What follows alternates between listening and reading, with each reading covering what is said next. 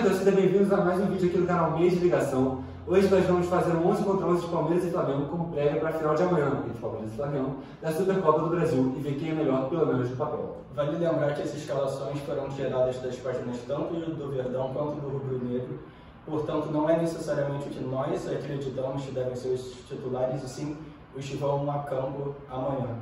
É, não se esqueça de curtir, compartilhar, se inscrever no canal, porque tem muita coisa boa vindo aí. Bora pro vídeo. Nosso primeiro duelo é entre Diego Alves, goleiro com passagem pela Europa, passagem por seleção brasileira, contra o Everton, campeão olímpico, que vem fazendo um bom trabalho no Palmeiras. Qual seu voto? É uma disputa é, que já foi mais difícil, eu acho que há um tempo talvez o Diego Alves levaria, mas hoje o Everton está acima, o Diego Alves sofreu lesão, o Everton é não só o atual campeão da Libertadores e da Copa do Brasil, mas vem fazendo defesas muito importantes pelo Palmeiras, um cara que realmente fez muita diferença dentro de campo. Para mim, talvez o melhor goleiro do Brasil, eu fico com o Everton. É, eu concordo, muita gente acha que a posição do Diego Alves dentro do Flamengo pode ser discutida. Eu não acho, acho que ele é o goleiro titular. O Hugo é muito garoto, falha com os pés, vai ser um bom goleiro, mas por enquanto é o Diego Alves. Mas nesse duelo não tem como, o Everton. Então, é, o placar vai 1x0 para o Palmeiras, mas agora está um confronto também muito interessante. Mais um de Juventude contra é, experiência, talvez, Trígolas e Vina. Jogo com essa.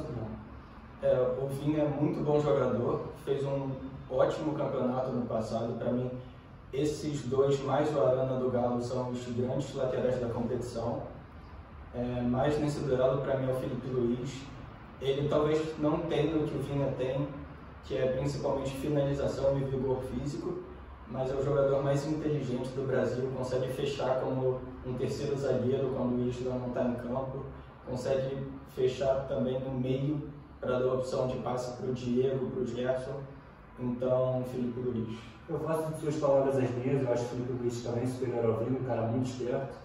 É, por mais que ele tenha envelhecido, eu acho que ele continua mantendo um bom futebol, até acho que a temporada 2020 dele foi melhor que a 2019. Então eu acho que o Felipe Luiz realmente é um lateral exímio lateral, é, eu gosto do futebol do Vinha, mas é difícil para mim ser o Luiz como. O próximo duelo é um brasileiro e um paraguaio, Rodrigo Caio, que sofreu também com lesões na última temporada, contra Gustavo Gomes, um dos destaques do Palmeiras. Dois grandes jogadores. Qual é o seu voto? Dois grandes zagueiros, talvez junto com o Miranda, os dois melhores zagueiros do futebol brasileiro hoje em dia. Porém, eu vou com o Gustavo Gomes. Eu acho o Gustavo Gomes o melhor zagueiro do Brasil, um dos melhores zagueiros da América do Sul, eu até diria isso um cara que sempre cresce jogo grande, faz gol, raramente falha, sabe marcar, um zagueiro completo, muito bom zagueiro, gosto muito do Gustavo Gomes, para mim, dois ao Palmeiras.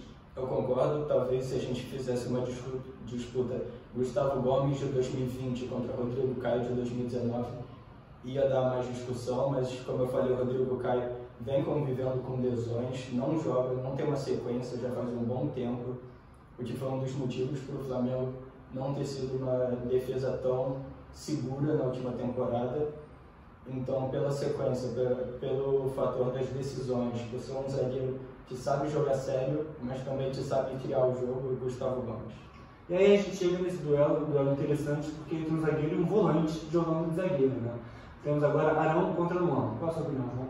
Eu acho que nessa daí o volante vai ganhar tranquilamente. O Luan falhou em jogos bastante importantes na última temporada é, foi o responsável pela falha que eliminou o Palmeiras do Mundial de Clubes, também foi expulso no jogo de ida da final da Copa do Brasil contra o Grêmio, então não, não passa segurança, para mim não seria nem titular da posição, tanto o Alan quanto o Kuzevic são bem melhores, e o Arão solucionou um problema, melhorou muito a saída de bola do Flamengo, é seguro, e mesmo com o Bruno Viana, para mim não deve perder a posição.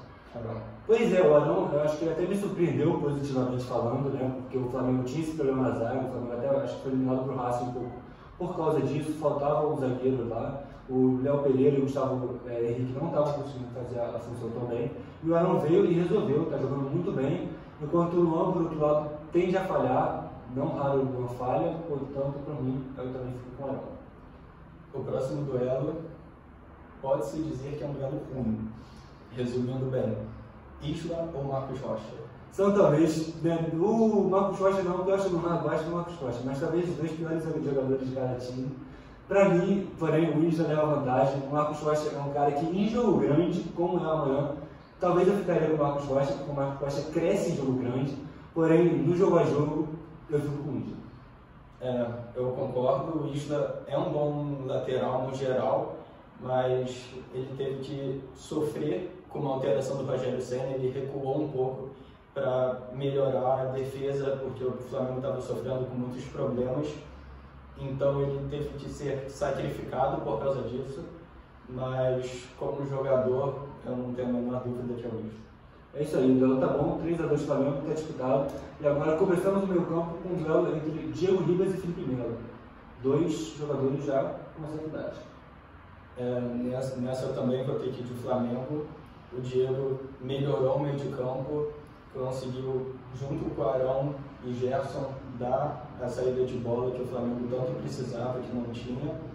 É, enquanto o Felipe Melo está fazendo a curva para baixo na carreira falhou num dos gols por não acompanhar o Walter Ball contra o Defensa e Justiça. Então, Diego Ribas. Eu acho que o Felipe Melo, é, por mais que eu entenda que ele já tem idade, eu acredito que ele esteja atravessando uma fase é, difícil, talvez a pior fase da carreira dele, mas eu acredito que o Felipe Melo seja mais completo que o Diego Ribas, principalmente no contexto do meio campo dos clubes. Né? É, eu acho que o Flamengo, com o Gerson e o Diego Ribas, às vezes acaba pecando um pouquinho na marcação, e o, o Diego, por mais que ele seja consideravelmente melhor que o Felipe Melo ofensivamente, eu acho que o Felipe Melo ganha na defesa, eu acho que esse é o grande ponto para o Felipe Melo. Por causa disso, eu vou ter que chorar para você ficar de Felipe Melo. A gente aqui em casa de empate, a gente que perguntar para o editor. Aí, editor, quem que você acha que leva essa? Chegando agora no nosso sétimo duelo, por enquanto está 3x3, mas eu acho que o primeiro vai passar na frente. É, Gerson ou Zé Rafael? Eu gosto do Zé Rafael, eu acho que o Zé Rafael é um jogador subestimado por parte da torcida, eu aprecio o valor do Zé Rafael, mas realmente o Gerson é o coringa do Flamengo, o cara sabe jogar, um cara muito completo, joga em todas as posições, sabe driblar, sabe chutar, sabe marcar. Difícil brigar com o Gerson, realmente aí não deu pro Zé Rafael, que é um bom jogador, mas que ficou para trás, quando a do Flamengo contra o Gerson. O que você acha? Discorda? Eu discordo um pouquinho do que você falou. Eu não acho o Zé Rafael esse jogador todo. Eu acho que ele nunca mostrou no Palmeiras o que ele fez no Bahia, por exemplo. É, acho ele lento, precisa melhorar, assim como outros, outros jogadores do Palmeiras, Lucas Lima, Gustavo Scarpa. Precisa ter mais mobilidade e o Gerson tem tudo isso que o Zé Rafael não tem. Gerson.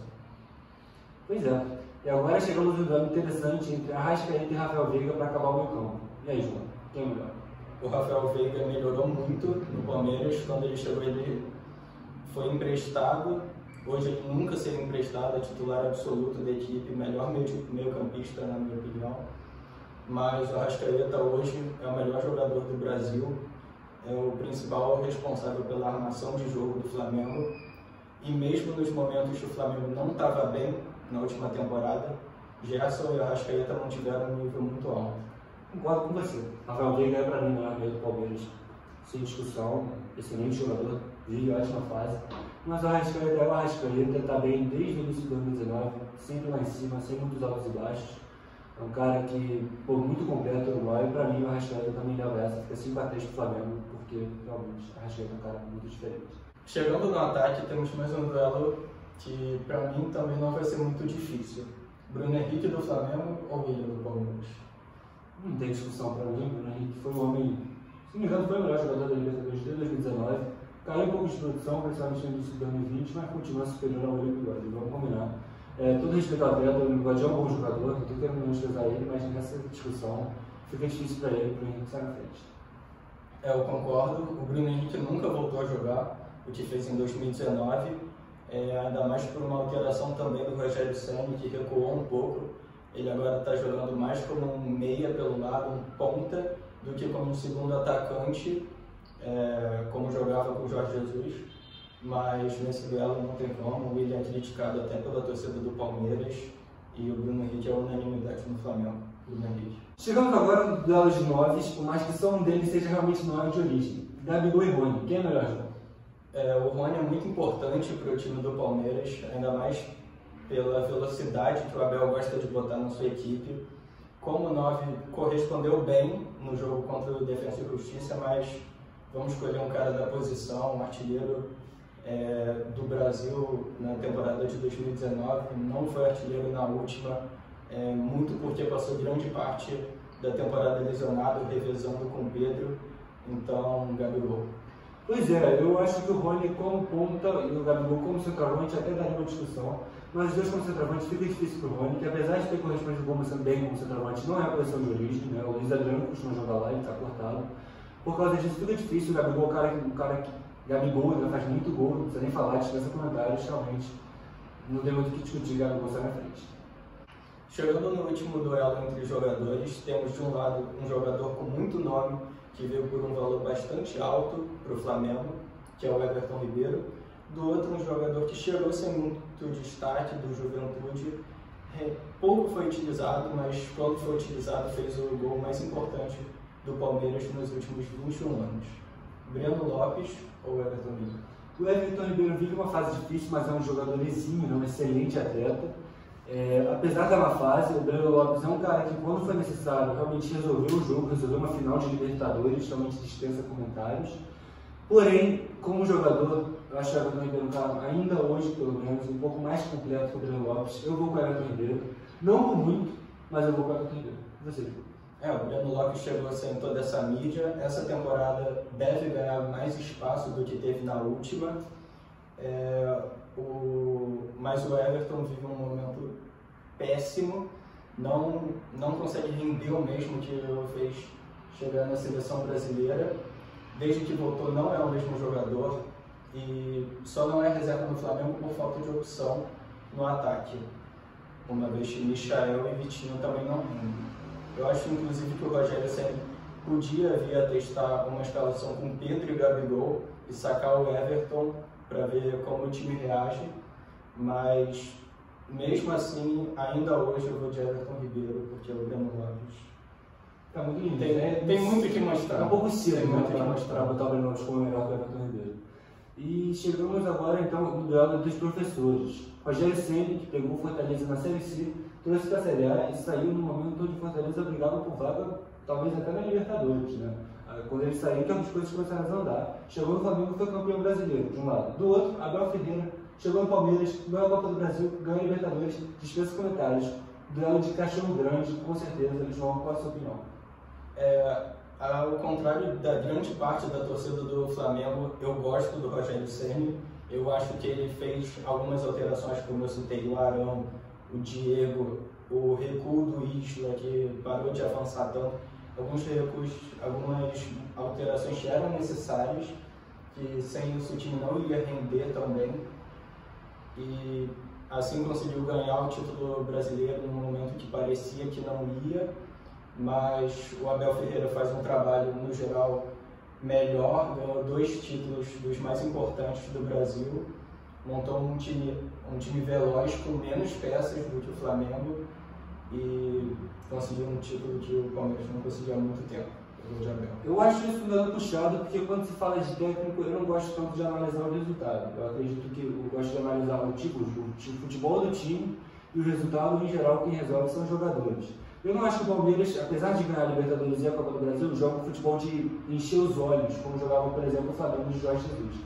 Apesar disso, é um time ajeitado, é um time bem postado em campo. É, o time do Rogério Senna também não é um time de encher os olhos do, do torcedor.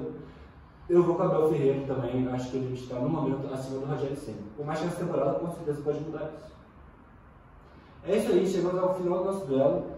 Foi um duelo interessante, amanhã o confronto com certeza promete, ambas as equipes querem ser supercampeão do Brasil.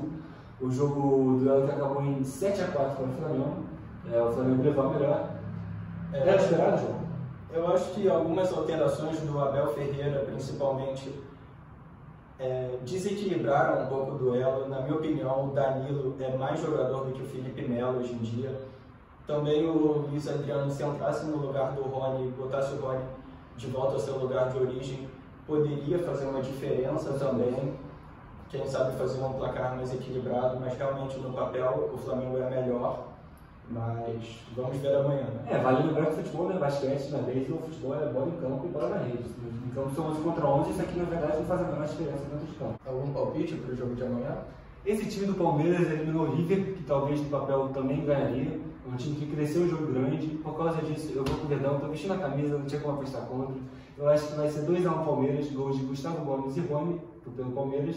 Eu acho que o Gabigol vai descontar o Rubro Eu acho que o Flamengo teve mais tempo livre para trabalhar. Começou bem a temporada, apesar dos adversários não serem tão, tão fortes. É, mas eu acredito que até por estar jogando a Recopa, ter duas competições em foco, além do Campeonato Paulista, né, uma terceira competição, eu acho que dá Flamengo 2 a 0 um do Gabriel e um do Rascaeta. É isso aí, nosso vídeo está chegando ao fim. Muito obrigado a você pela sua audiência. O que, que você achou? Concorda, discorda da nossa opinião? Por favor, baixe nos seus comentários. Seu palpite também para o grande jogo de amanhã. Dois cabeças muito pesados, com certeza vai ser um jogão. Não se esqueça de curtir, compartilhar, se inscrever no canal para não perder nada.